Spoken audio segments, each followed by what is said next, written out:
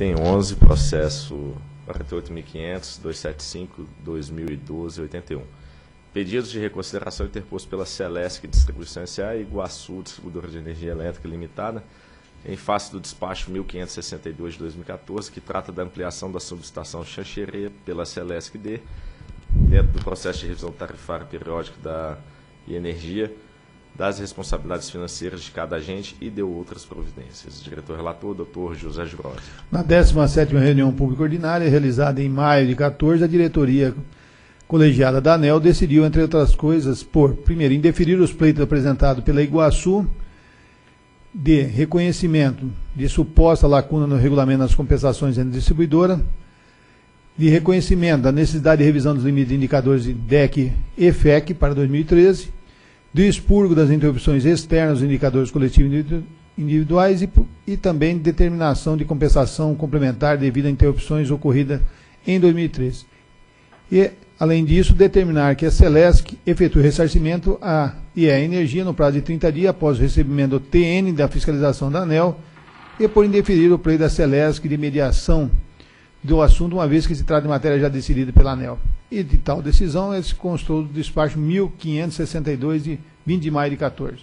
E contra a referida decisão, a IE Energia e a Celeste interpuseram pedido de reconsideração em 9 de junho de 14. Em síntese, a Celeste solicitou que seja adotado um limite de responsabilidade da concessionária àquele resultante dos cálculos previstos normalmente do Prodis, conforme o valor apurado na carta encaminhada à ANEL em 25 de 2 de 14. E a Energia, por sua vez, solicitou reconsideração da decisão para o fim de reconhecer a disparidade entre o que a distribuidora acessante compensa aos seus consumidores e que a distribuidora acessada compensa a acessante quando há continuidade na prestação do serviço de suas instalações. E também reconhecer a necessidade de revisão dos limites DECFEC, considerando os problemas havidos nas instalações da acessada Celesc. 3. E sejam expurgadas interrupções externas da, dos indicadores coletivos individuais da IA Energia, em especial aqueles atribuíveis à Celesc D. E, por fim, que seja determinada a compensação complementar nos modos já reconhecidos para o ano 2012, aplicando-se também para 2013, tendo em vista que a compensação prevista no prodígio não é integral e necessidade e há necessidade de complementação através do ressarcimento já reconhecido pela ANEL. Tendo sor sido sorteado em 16 de junho de 14 para analisar os referidos pedidos de reconsideração, solicitei por meio de minha assessoria a manifestação da SRD, que por meio de nota técnica número 87, a opinou pelo indeferimento dos pedidos de reconsideração. E em 9 de janeiro de 15, a IE Energia protocolou correspondência mediante a qual apresentou sugestões para a revisão do PRODIS e da resolução 414. É o relatório. Procuradoria. Trata-se aqui de pedido de reconsideração em face do despacho 1562 de 2014. Essa é uma matéria que já foi examinada pela diretoria depois de uma ampla discussão em 2014 e também é oriunda de uma outra decisão da, da diretoria que foi zarada em, em 2012. A Procuradoria, em relação a esse último pedido de reconsideração, não o parecer, mas opina pela manutenção da decisão a recorrida. Os pedidos de reconsideração foram interpostos dentro do prazo regulamentar de 10 dias, portanto, devem ser conhecidos. Quanto ao pedido de reconsideração da IA Energia, esta reitera que há uma lacuna regulatória que provoca assimetria nas compensações entre acessantes e acessado, pois, segundo a regulamentação vigente do módulo 8 do prodígio, o valor que a acessante compensa o consumidor é bem maior ou superior ao que a acessada compensa a acessante. No entanto, após detido o exame dos autos, verifica-se que a concessionária não trouxe argumentos capazes de mudar o entendimento constando no voto do diretor Reive o qual foi endossado pelos demais membros do, do, do, colegiado. Isso porque o regulamento das compensações no ponto de conexão entre, entre o distribuidor e das distribuidoras em relação às suas unidades consumidoras está coerente com os objetivos, não havendo necessidade de ajustes propostos. Com efeito, as compensações devidas pela Celesc, acessada a, e a energia acessante, cuja regulamentação está disposta no item 6 da seção 8.2 do módulo 8 do PRODIS, não pode ser confundida com aquelas que, excepcionalmente, são devidas pela pela Celesc a e a energia por força de decisão de diretoria colegiada da ANEL. E no ponto, reitera-se que a referida decisão proferida na 28ª reunião pública de 2012, no sentido que a Celeste deve ressarcir a IA Energia na parcela que lhe for atribuível as compensações que são devidas pela Energia às suas unidades consumidoras em decorrência do problema ocorrido na SS Sancherê, explosão do travo de 40 megawatts que atende a carga de energia, trata-se de um caso específico sem relação com a regra geral vigente. Em outras palavras, além das compensações normalmente devidas pela Celesca e a Energia, pelas transgressões dos limites no ponto de conexão entre as distribuidoras, a acessada extraordinariamente deve ressarcir a acessante parte das compensações que essa última pagou às suas unidades consumidoras. E a energia reitera também o reconhecimento por parte da ANEL quanto à necessidade de revisão dos limites e indicadores DEC e FIEC para 2013.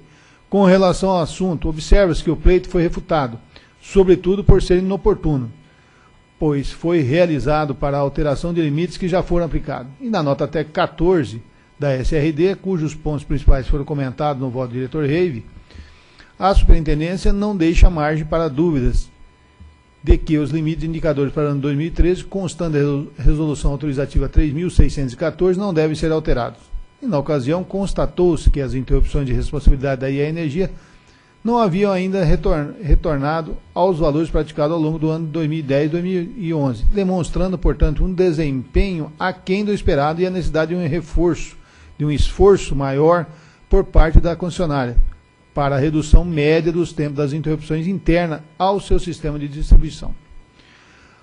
A decisão de não expurgar os desligamentos oriundos da Celesc D também deve ser mantida. Isso porque no item 5.6.2.6 da seção 8.2 do Prodício estabelece claramente que não deve ser expurgado dos indicadores de interrupções provenientes da transmissora ou distribuidora acessada.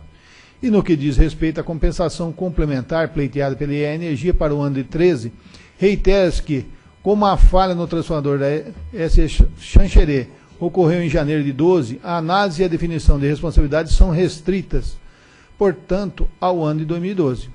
Quanto ao pedido de reconsideração da Celesc, esta afirma que seu pedido de reconsideração que somente em 28 de 11 de 13 a Celeste tomou conhecimento através do ofício circular 20 da SRD de valores supostamente devido à sua energia apontados na planilha confeccionada pela SRD, baseada apenas nas informações fornecidas pela Iguaçu Energia, dando uma interpretação à decisão da diretoria da agência discordando do regulamento regulatório vigente.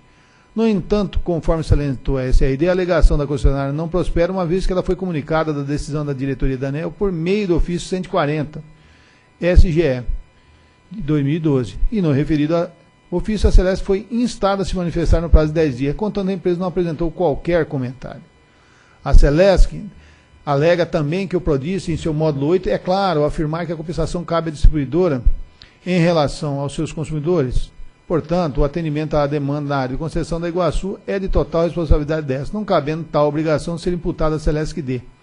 E que a metodologia alternativa utilizada por essa agência para apuração da responsabilidade da Celesc e Iguaçu Energia da compensação dos indicadores de continuidade entre distribuidor não deve ser utilizada, tendo em vista não estar aderente à norma vigente. E sobre o assunto, reitero o entendimento da SRD de que não, há, não está em discussão a responsabilidade pela queima do transformador, que de qualquer forma não serviria de argumento para justificar uma interrupção de fornecimento à acessante. Ademais, entende-se como superada a discussão quanto à falha de aderência do regulamento vigente, haja visto que a decisão da diretoria colegiada da ANEL foi de fato tomada em caráter excepcional. Repita, se trata de um evento específico ocorrido entre duas concessionárias, uma na condição de supridora ou na condição de suprida, em que a ANEL teve de intervir para estabelecer um critério de, para definição de responsabilidade de cada uma na extrapolação dos limites indicadores de continuidade. Por oportuno, ressalta-se que, em atendimento à determinação da diretoria da ANEL, constando do despacho 1562, a SFE fiscalizou a SS Sancheré, tendo sido lavrado o termo de notificação número 14, de janeiro de 15 nesse processo em tela. E não consta nos autos a comprovação de que a Celesc de efetuou ressarcimento à energia no prazo de 30 dias após o recebimento do TN, conforme determinado no referido despacho. Assim, vale lembrar que o não cumprimento da determinação da ANEL sujeita a concessionária a penalidade prevista na resolução normativa de 63, considerando que o pedido de reconsideração em tela não confere efeito suspensivo automático. Em face do exposto e considerando o que consta do processo em tela, voto por conhecer os pedidos de reconsideração interpostos pela Celesc e e é energia em fase do despacho 1562 de 2014 para no mérito negar desprovimento. É o voto. Em discussão. Em votação. Eu voto com o relator. Também voto com o relator. Em voto com o relator, proclamo que a diretoria decidiu por conhecer dos pedidos de reconsideração interpostos pela Celeste Distribuição e pela Iguaçu Distribuidora de Energia Elétrica, em face do despacho 1562 de 2014, para, no mérito, negar-lhes provimento. Próximo item.